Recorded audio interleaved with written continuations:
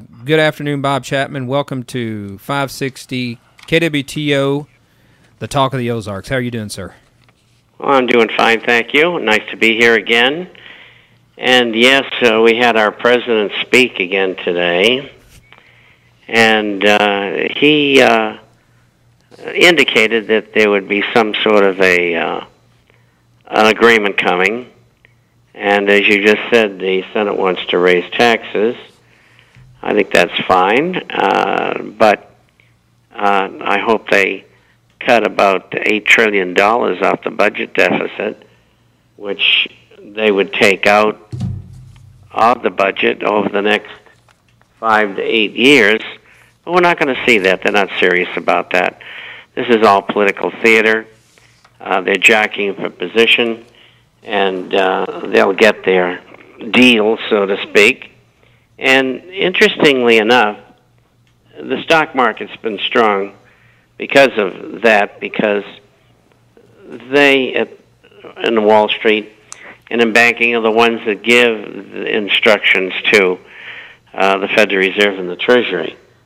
So uh, they make the inside information, and because of that, they're ahead of the curve all the time, and they always make money because they cheat. Well, anyway, uh, today we saw a almost 200 point rally, and that was because uh, there's anticipation that this thing is going to get passed, and that would mean the spending of more money, the more looseness in what is done within government, and it's not good for the economy, but they're going to do it anyway.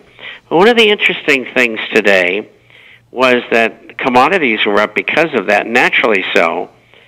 But what happened was, uh, as soon as the president spoke, uh, they knocked gold down about twenty dollars, and silver was down about a dollar. They came back during the course of uh, the trading during the uh, August uh, gold outside contract, the most active one, and in September in silver.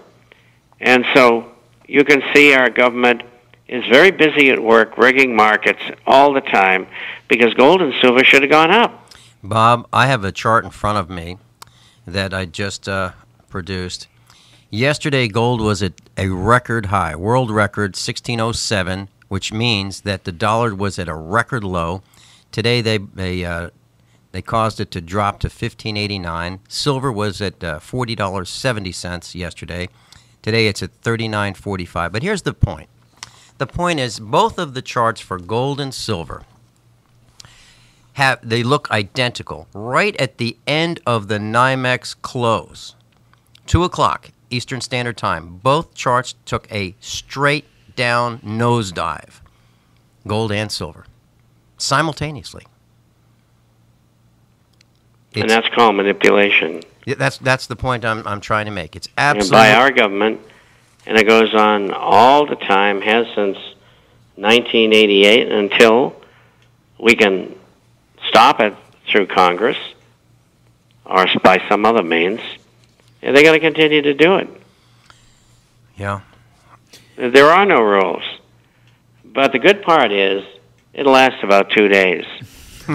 it'll turn around and run, run right back up again. Well, you know, Congress duped President Reagan back in the early 80s, if you remember correctly, Bob, with this same type of proposal. They promised this long, decade long uh, deficit reduction uh, for some small taxes increases, and it didn't happen. And now we're seeing a replay of it again, and it's really not designed to appease uh, Republicans in Congress, in my opinion. It's designed to appease uh, the public, the public sentiment now, to so people won't focus on on this issue any longer, so they can go about what they've done for the last 20, 30 years: spin, spin, spin. And that's correct. They have no intention of cutting anything. And it's as simple as that. Hey Bob, we're gonna we're gonna have to take a quick break here, and then we'll come back and we'll talk a, a little bit more about this issue and a lot of other issues as well. And uh, so please stay tuned. You're listening to USA Prepares on 560 AM KWTO, the Talk of the Ozarks. I'm Mark Wright. I'm here with Vincent Finelli. We'll return in a minute. America.com.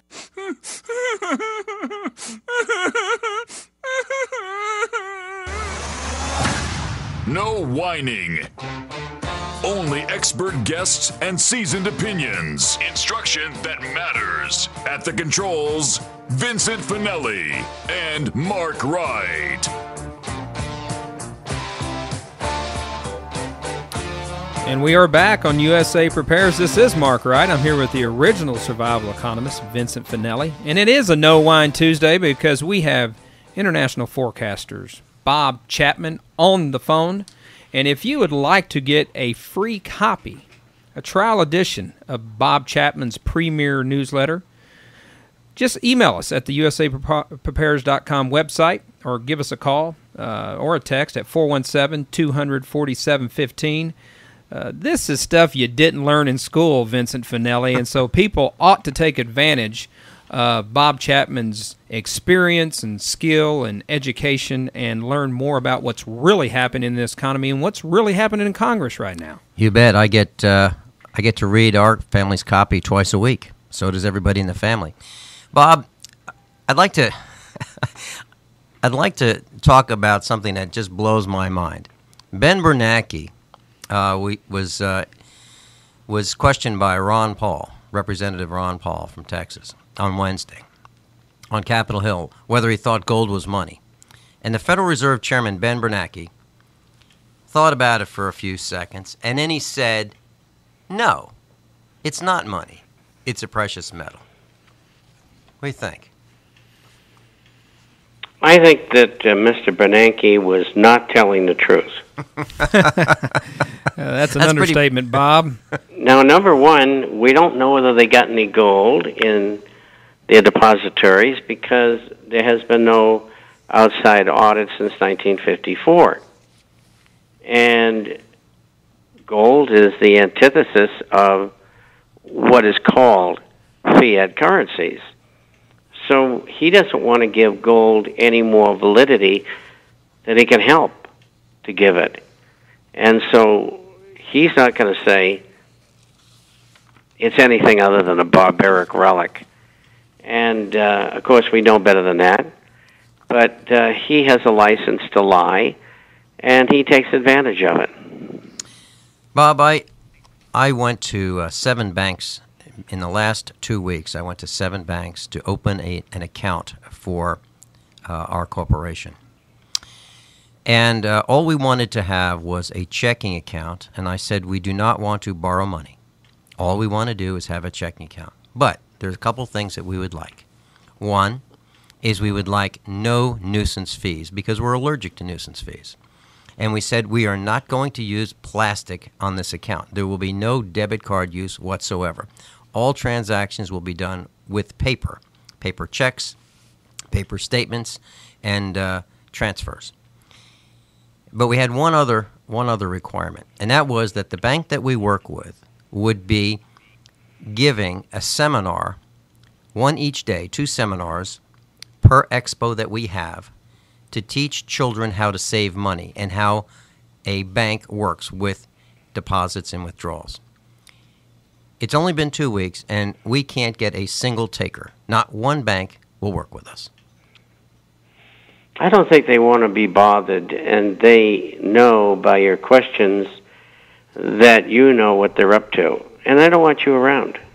They really don't, and I'm I'm, serious. I have gone to every bank that's convenient uh, to our travel pattern, and they re- uh, it's unbelievable. The I've I've asked to talk to the presidents of each of these banks, and and he's always in a meeting or he's out of the office. And finally, I said this morning, I said to one of the ladies in the lobby, I said, you know what, you guys are like the government. You're exactly like the government. Nobody here can make a decision about anything. It's unbelievable. It's frustrating. Uh, hey, why don't we open our own bank? Okay, let's do that. We should open a bank that actually caters to customers and provides a service and, and uses local funds and reinvests them back in our community rather than sending them off to New York City. I And like abroad. it. I think we need to push for a state bank in uh, the Missouri legislature. What do you think about that idea, Bob? Is that is that? uh, Well, that relevant? would be a good idea. Can we get you on the board of directors? I don't think so. I think you have They to be they present won't take that. boards of directors people who are over 75, so I'm out. Oh, you're out, drats. We'll, we'll we'll change the law just for you though, Bob. There's an exemption. Hey, man, I mean, Obama puts exemptions all the time in the law. How come we can't do that for you? Well, I, I abide by the Constitution. He doesn't. Amen. Yeah, yeah. Well, Bob, where do we go with uh, with the news? What's happened that you've you've discovered through your intel? Well, first of all, uh, I don't think they're much further ahead in Europe on solving their problem, uh, which is not only Greece now; it's uh, back to Ireland and Portugal, and now Italy and Spain will follow, and then Belgium. And uh, they're finally looking at all the numbers.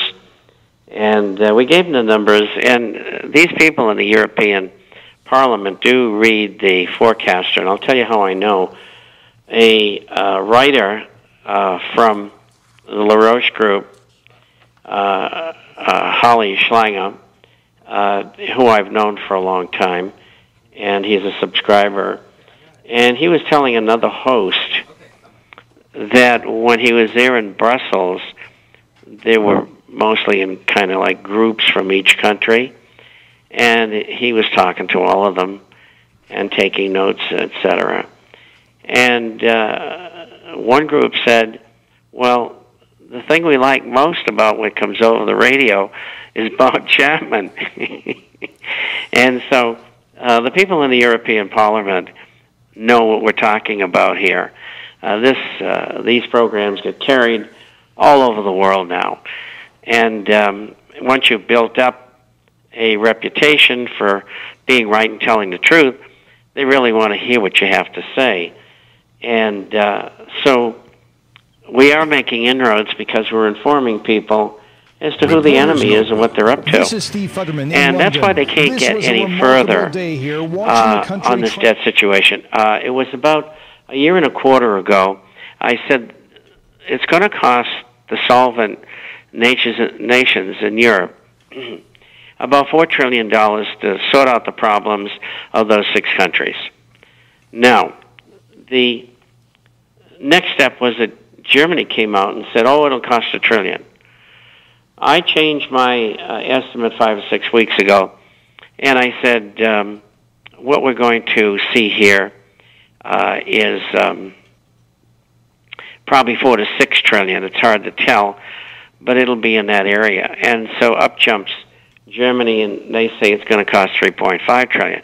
They are getting closer, but the point is this: it's unpayable by the people who have made the debt.